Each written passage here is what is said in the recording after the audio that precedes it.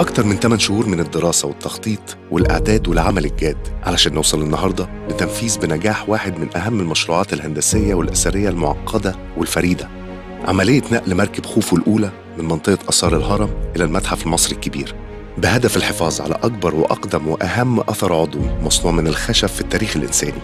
مركب خوفو الأولى اللي بيبلغ عمرها أكثر من 4600 سنة والمعروفة إعلاميا بمركب الشمس تم اكتشافها في 26 مايو سنة 1954 أثناء حملة لإزالة الرمال والأتربة من على الضلع الجنوبي للهرم الأكبر للملك خوفو.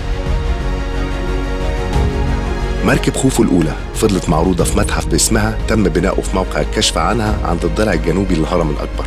وللأسف المبنى ده فضل على مدار عقود مشوه المنظر الجمالي للهرم غير أن وسائل العرض والحفاظ على المركب بيه لا تواكب أساليب العرض والطرق الحديثة والمتطورة. في كان قرار نقلها كان هناك أفكار ودراسات عديدة لنقل مركب خوفو من موقعها بمنطقة آثار الهرم وكانوا بيوصلوا لنتيجة واحدة وهي إن نقل المركب فيه خطورة عليها تفوق خطورة بقائها في موقعها وإنه هندسيا شبه مستحيل لأن كان التفكير منصب في تفكيك المركب ونقلها وإعادة تركيبها في موقعها الجديد بالمتحف المصري الكبير.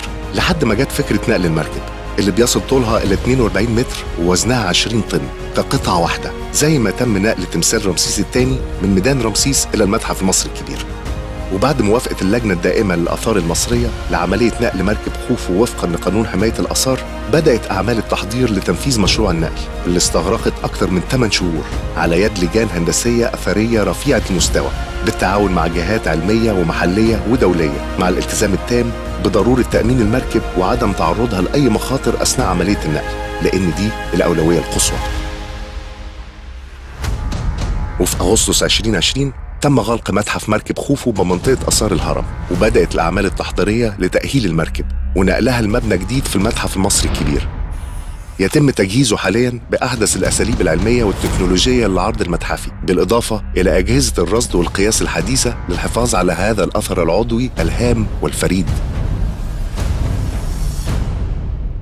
في البداية وقبل عملية النقل تم عمل مسح راداري للأرض الصخرية تحت مبنى المتحف القديم اللي في منطقة آثار الهرم حتى الطريق الأسفلتي في الجهة الشرقية للتأكد من قدرتها على تحمل أوزان والممرات والشدادات المعدنية اللي تمت إقامتها لتأهيل المبنى والمركب للنقل. وقام فريق متميز من مرممي مركز ترميم المتحف المصري الكبير والمجلس الأعلى للآثار بعمل مسح بأشعة الليزر للمركب لتوثيق أدق تفاصيلها وتغليفها استعدادا للنقل. وبالتوازي تم تصميم وتصنيع هيكل معدني حوالين المركب وإقامة شدادات وسقالات معدنية خارج وداخل المبنى لتدعيمه. عملية إخراج المركب من مقرها القديم واجهت تعقيدات وتحديات كبيرة واللي تم التغلب عليها بواسطة اللجنة المشكلة من إدارة وأثري المتحف المصري الكبير وزملائهم من المجلس الأعلى للآثار واستشاريين. ومهندسين من مكاتب استشارية وأساتذة كلية الهندسة بجامعة القاهرة وتم وضع خطة سريعة لتدعيم المركب والمبنى مع الابتعاد عن أساسات المتحف القديم.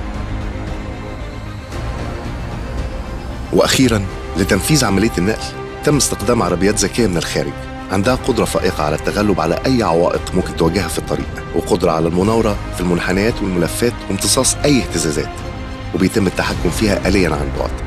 وأثبتت العربيات الذكية قدرتها على تنفيذ المهمة المكلفة بها لنقل المركب بنجاح أثناء تجارب المحاكاة العديدة اللي خلالها قامت بنفس الرحلة محملة بنفس أوزان وأبعاد وبروز المركب.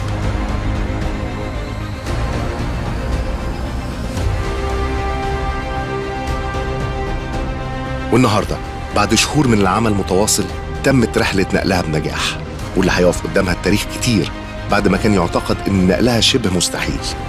والعالم كله هيتفرج على المركب في مقرها الجديد في المتحف المصري الكبير بعد افتتاحه. بفضل فكر وجهد وتفاني المصريين اللي بيثبتوا في كل تحدي يواجههم إنهم قادرين على تحقيق المستحيل.